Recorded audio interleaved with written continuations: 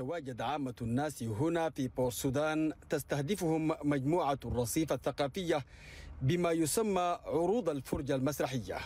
تجوال فني فرضه غياب دور العرض المسرحي بالمدينة. على حافة الأزمنة واحدة من المسرحيات التي ناقشت بعضا مما هو مسكوت عنه في المجتمع السوداني كخطاب الكراهية الذي لعب دورا في اشتعال الحرب ومصادرة بعض الحقوق الشخصية للفتيات كاختيار الزوج.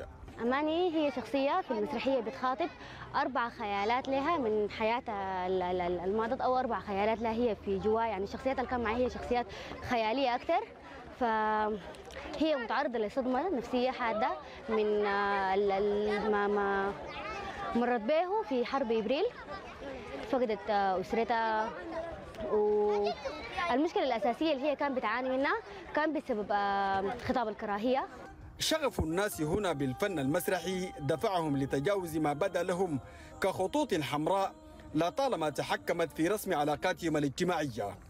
فمشاعر الحب عند الفتيات مثلا قضية قد لا تؤخذ في اعتبار ولي أمرها عندما تطلب الفتاة للزواج وهو أمر يرى كاتب سيناريو مسرحية على حافة الأزمنة أنه بحاجة إلى نقاش مفتوح. محتاجين بشكل كبير أنه تتقدم عروض مسرحية في مناطق كثيرة وتوصل الرسائل يعني بكل الطرق الممكنة عن طريق المسرح لأنه المسرح بيساهم حقيقي في أنه الناس تستعيد ذاته حاجات كثيرة وتبتدي تعيد التفكير في كثير من القضايا. هنا وفي الهواء الطلق استمرت عروض المسرحية والتي تابعها جمهور مليء بالتباين. جمهور لم يخفي إعجابه بهذا النوع من الفنون. فالمسرح في نظر هؤلاء وسيلة فعالة تجسد رغباتهم وتفاعلاتهم تجاه قضاياهم الملحة. عرضي كان سمح الأمانة دي واحدة من المشا... من المشاكل كثير موجودة في واقعنا اللي إحنا محتاجين إنه إحنا نعالجها يعني وهي مؤثرة مؤثرة شديد بالعمل عرضي كان جميل و عالج مسألة التنوع بتاعتنا بشكل أجمل بشكل لطيف ومباشر للمتلقي.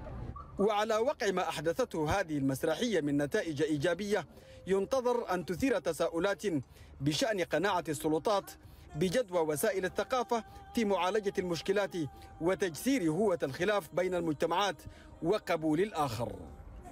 للفن المسرحي أهمية كبيرة في معالجة مشكلات اجتماعية وسياسية لطالما استعصى حلها. وشكلت تحديا أعاق مسيرة التطور المنشود في بلد مزقته الحروب. عبد الباقي العوض الحرة بور السودان